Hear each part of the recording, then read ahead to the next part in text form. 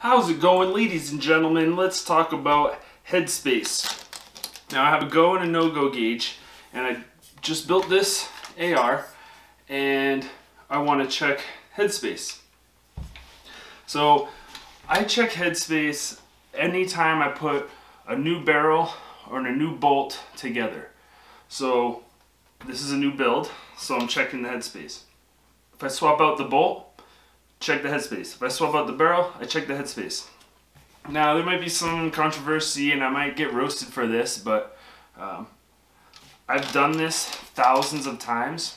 you know, in the, in the Army I was battalion armorer for 501st. It's an airborne infantry uh, battalion. And every time before we would deploy and after we would get back from deployment, we had to gauge all the weapons. You can imagine how many M4s a battalion has. I mean, I mean, we'd also check, you know, there's barrel gauges, they're all kind of gauges, but I've done this thousands of times. And so for me, I kind of don't have a choice. I have the gauges, it's just I always do it now. Um, but that being said, I know guys who have built plenty of rifles, never gauged them once, and have never had a problem. So I, I, I guess it's sort of personal preference. It's definitely recommended to do it at the factory. Um, they should be doing this on new barrels. But, you know, in fact, this barrel and this bolt come from different manufacturers. Um, as long as they're both made to mil spec, you're probably fine, to be honest.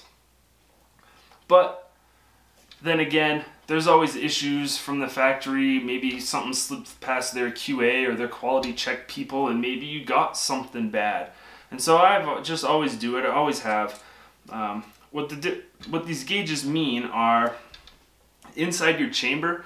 Um, it sort of tapers down at some point. They call it, there's a point in that taper they call it the datum line. You don't need to know all the technical stuff about it, but basically from that point in the taper down in your chamber to the bolt face is what you're measuring.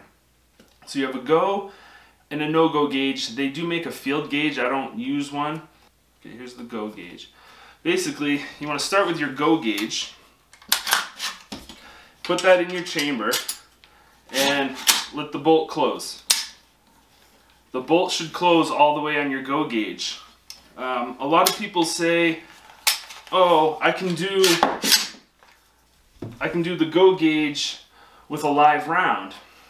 I would say don't do that just because, you know, I guess technically you could, but the live round, the brass is soft and if it's getting forced in there and you don't realize it, you could be failing your go gauge, but a live round actually does, the bolt does close all the way on the live round, but that's because you're mashing the brass in there to make it fit. Um, I guess you could take the live round out and inspect the bullet, inspect the casing, but I'd much rather, I mean, I think I got these, this set of gauges for like 60 bucks, I mean, and besides, with the no-go, the live round's not gonna help you with the no-go, so you wanna put the no-go gauge in, and the bolt shouldn't close. Now don't jam it, don't use your forward assist and like make it close.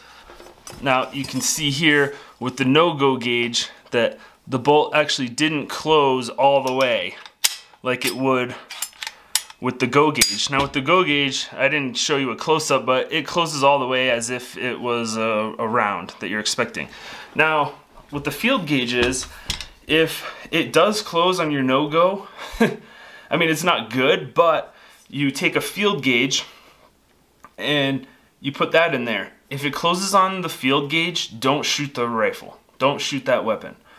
Um, the field gauge is is it's basically another no-go gauge, but it's just that maximum level, that maximum tolerance. If it closes on the no-go gauge, but doesn't close on the field gauge, you're okay.